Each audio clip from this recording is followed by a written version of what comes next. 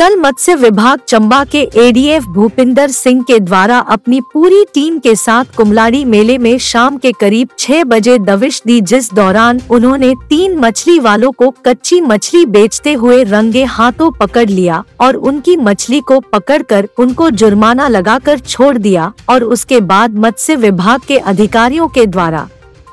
उन मछलियों को उसी समय लोगों को ऑक्शन कर बेच दिया गया। गौरतलब है कि 15 जून से 15 अगस्त तक मछलियों को मारने में पूरी तरह से पाबंदी है, क्योंकि इस समय मछलियों के प्रजन का समय होता है। जब इस बाबत मत्स्य विभाग चंबा के एडीएफ भूपिंदर सिंह से पूछा गया तो उन्होंने बताया कि यदि 15 अगस्त तक कोई भी गैर कानूनी रूप से मछलियाँ बेचता हुआ पाया जाता है तो उनके ऊपर सख्त से सख्त कार्रवाई की जाएगी और इसमें सजा का भी प्रावधान है। जैसे हमें सूचना मिली तो हमने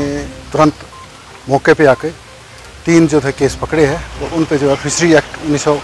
दो हज़ार दो के अंतर्गत जो है कार्रवाई की है और उनको जुर्माना भी कर दिया है। तो सर जो आप लोगों ने ये फिशेज पकड़े थे पंजाब वालों से जो पंजाब के थे तो यहाँ पर किसको आप लोगों ने वो कर दिया था उनको मछलियों को किसको बेचा गया जो उनसे जो मछली कन्फिस्केट की ना जी, वो वहीं के जो लोग, जो इंटरेस्टेड आदमी थे उनको ऑप्शन कर दिया।